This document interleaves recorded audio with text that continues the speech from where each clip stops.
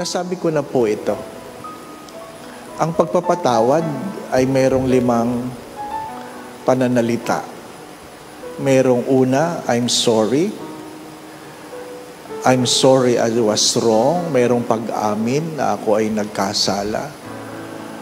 I promise not to do it again. Nangangako na hindi ko na uulitin.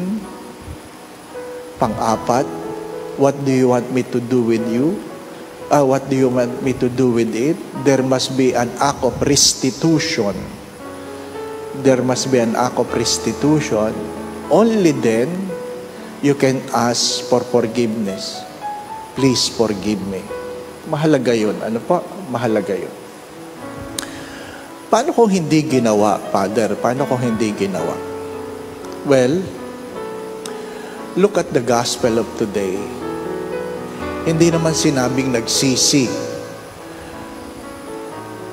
Pero, ang, paniwo, ang panimula ni Jesus ay, kung sino man nagkasala, patawarin mo ng hindi lang pitong beses, pitot, pitumput pitong beses.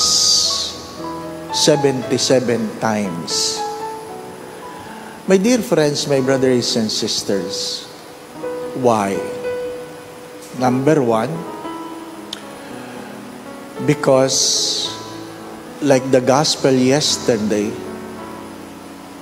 you cannot force a person to turn away from sin. Ano sabi kahapon? Pag mali, sabihan mo.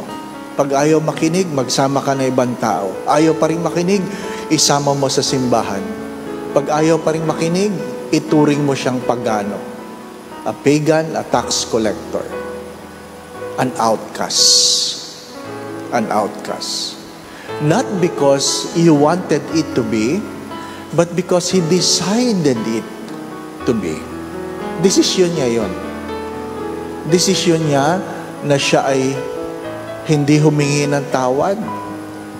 Pero, bakit ko siya patatawarin, Father?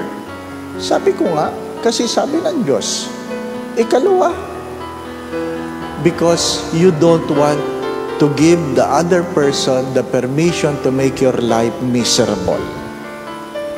Kaya ako nagpapatawad kasi ayaw kong gawing miserable ang buhay ko dahil sa iyo. Kung ayaw mo magbago, di wag.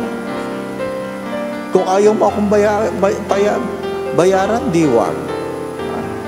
I am not giving you the power to make my life miserable.